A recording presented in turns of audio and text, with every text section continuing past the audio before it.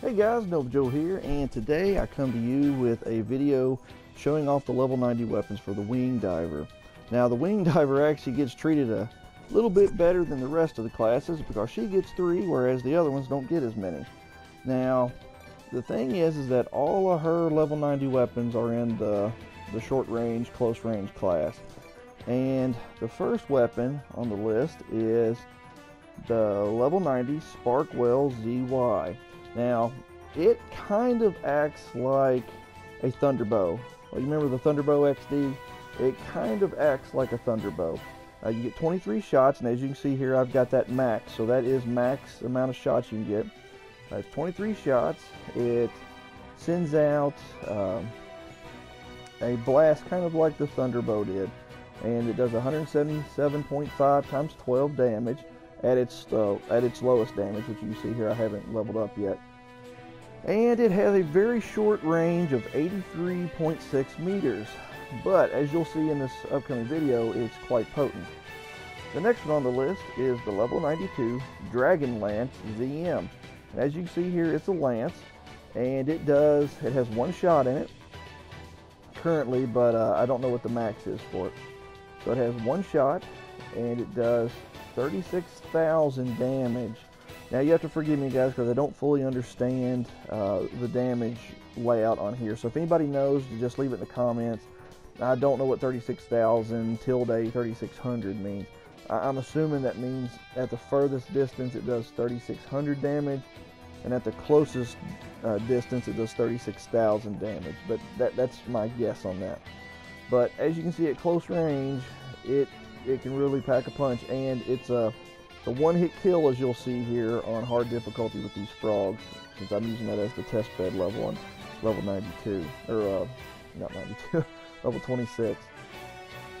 The last weapon is the level 95 a Phalanx, a Phalanx ZT, and it's a rapier. You charge it up, and when you let go, it has currently 200 rounds that blast out, and it chews the the colonists, the frogs, up. It chews them up in a second.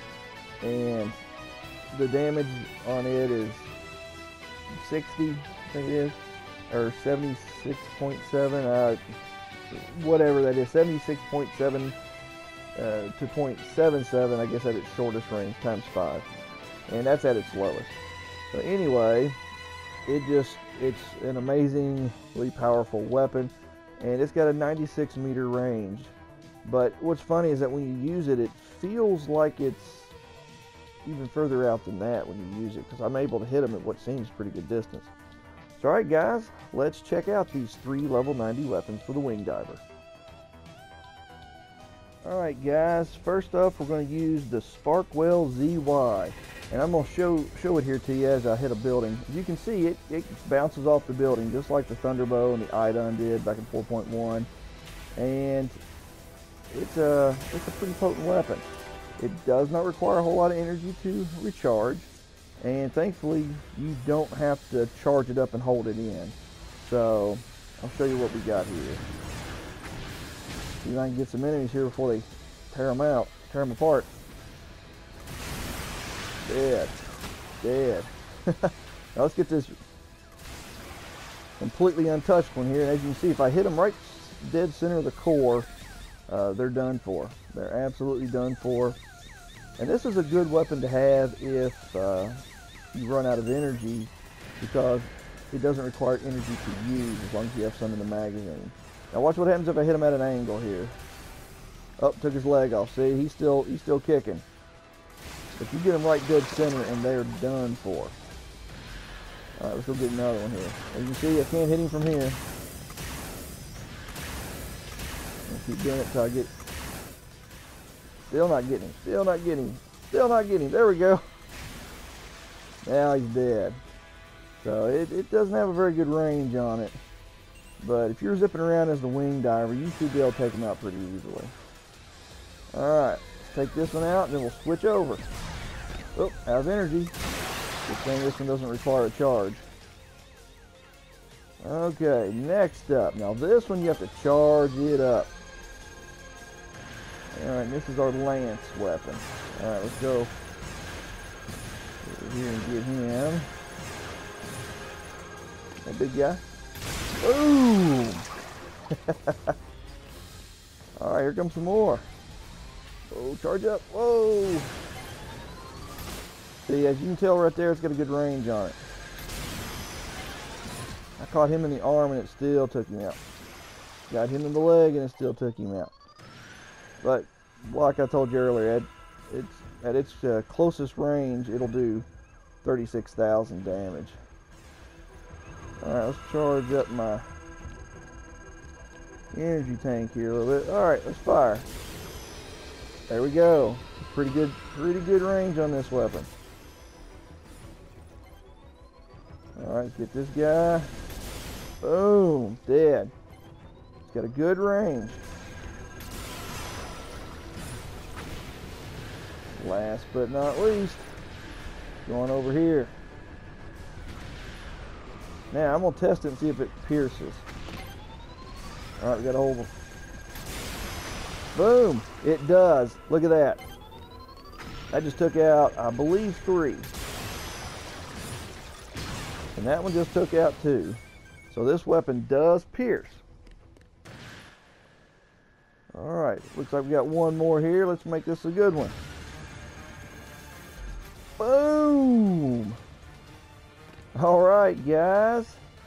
That is the level 90 Sparkwell ZY and the level 92 Dragonlance ZM. Next up, level 95 Phalanx ZT.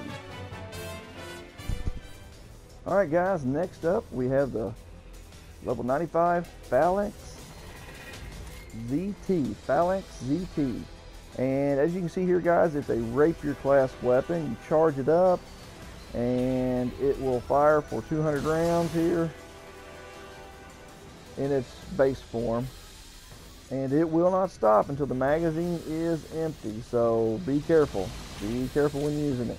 If you're up close to something, just be careful for the splashback on you. Alright, now watch this. Got pretty good range on it, 96 meters. And it chews these colonists up on hard difficulty. This is hard difficulty. Look at that. Nothing left of him. Now where we go?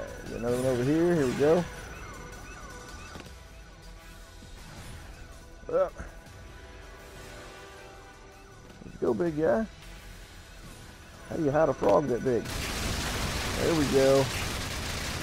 Guys, what do y'all think of the mechanics, uh, the changes they've made to how the wing diver functions in 5?